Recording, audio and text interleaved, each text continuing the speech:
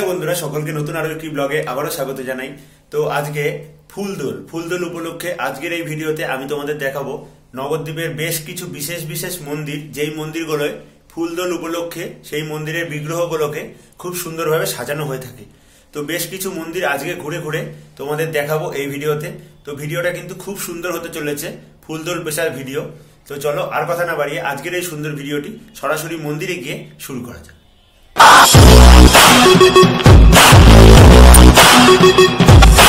ফুলদোল উপলক্ষে প্রথমেই দেখতে পাচ্ছ আমাদের বাড়ির শ্যামসুন্দর ও রাধারানীকে সকালবেলার সাজ এটা। এবং পরবর্তীতে দেখতে পাচ্ছ সন্ধ্যাবেলার সাদা ফুল দিয়ে সাজানো আমাদের বাড়ির ঠাকুর। এবং পরবর্তীতে এখানে দেখতে পাচ্ছ কৃষ্ণানন্দ আগমবাগীশ ও মাধবানন্দ সহসাক্ষ্য সেবিত রাধাবল্লভ জিউ রাধারানী ও বালগোপাল। নিচে ছোট্ট একটি বালগোপাল রয়েছে। এই বালগোপাল ধামেশ্বর মহাপ্রভুর নিজের হাতে সেবিত।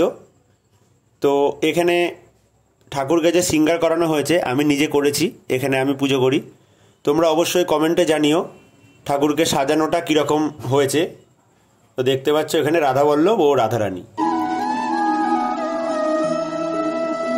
পরবর্তীতে এখানে গরুর পাখিকে দেখতে পাচ্ছ, নবদ্বীপ গোবিন্দবাড়ির প্রবেশ গেটের ভেতরে।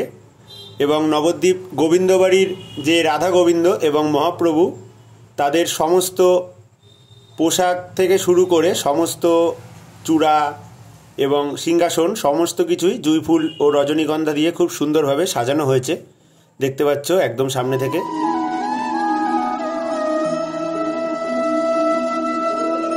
পরবর্তীতে আমি চলে এসেছি নবদ্বীপের মদনমোহনজিউ মন্দিরে।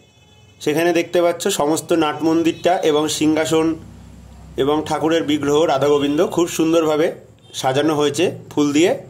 এবং এখানে সন্ধ্যাবেলার যে সন্ধ্যা আরতি, সেই সন্ধ্যা আরতি চলছে।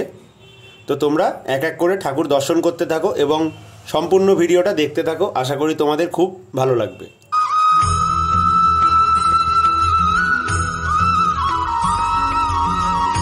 এরপরে চলে এসেছি নবদ্বীপের বলদ্বীপ জিউ মন্দির। বলদেবের মন্দিরে দেখতে পাচ্ছ খুব সুন্দরভাবে সাজানো রয়েছে। তো জুম করে যেটুকু সম্ভব দেখাচ্ছি। প্রচণ্ড ঠাকুরের মুখে লাইট দেওয়ায় ঠিকঠাক বোঝা যাচ্ছে না। দেখতে পাচ্ছ বলদেবজিউকে একদম সামনে থেকে। তারপরে নবদ্বীপের নরসিংহ মন্দিরে আমি চলে এসেছি। দেখতে পাচ্ছ রাধাকৃষ্ণ এবং পাশেই রয়েছে নবদ্বীপ নরসিংহ মন্দির। সেই নরসিংহ মন্দিরের নৃসিংহদেব। খুব সুন্দর একটি নৃসিংহদেবের মূর্তি এখানে। দর্শন করো একদম সামনে থেকে। এবং পাশেই এখানে জগন্নাথ বলরাম, সুভদ্রাকে দেখতে পাচ্ছ। এখানে দেখতে পাচ্ছ জগন্নাথ, বলরাম, সুভদ্রা তিনজনারই কিন্তু হাত লাগানো রয়েছে। পরবর্তীতে চলে এসেছি নবদ্বীপের সমাজবাড়ি।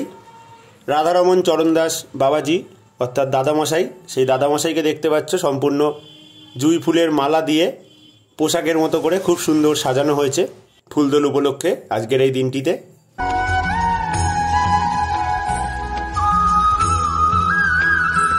এরপরে তোমরা দেখতে পাচ্ছ যে নিতাই গৌর খুব সুন্দরভাবে সিঙ্গার করা হয়েছে। নবদ্বীপ সমাজবাড়ির নিতাই গৌর